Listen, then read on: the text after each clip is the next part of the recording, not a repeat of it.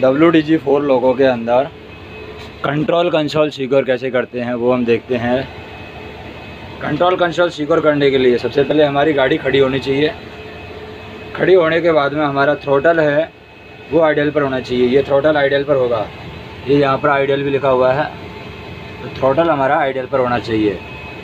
और जो रिवर्सर है, वो न्यूट्रल पर होना चाहिए। यहाँ पर सेंटर में न्यूट्रल पर होगा। और उसके बाद में हमें इंजन रन स्विच को ऑफ़ करना है जीएफ स्विच को ऑफ़ करना है। तो ये इंजन रन स्विच, ये ऑफ़ करना है।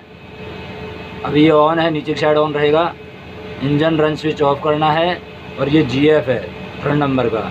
ये जीएफ भी हमें ऑफ़ करना है। और यहाँ पर जनरेटर फ़ील्ड का एक सर्किट ब्रेकर यहाँ पर भी है। इसके अंदर, इसे भी हमें ऑफ़ करना है। ये अभी ऑन है ऊपर की साइड इसको भी हमें ऑफ़ करना है। तो इस तरीके से हमें तीन स्टेप फॉलो करके हमें कंट्रोल कंसोल स्विच आउट करना है। इसमें एक और है हमारा इंजन जो आइसोलेशन स्विच है। इस आइसोलेशन स्विच को हमें आइसोलेट पर रखना है। जैसे स्टार्ट स्टॉप आइसोलेट तो आइसोलेट पर रखना है। इसका मतलब हमारा जो कंट्रोल कंसोल है डब्ल्यू डी का वो हमारा सिक्योर हो गया है। तो ये तीन काम हमें करने होंगे क्या?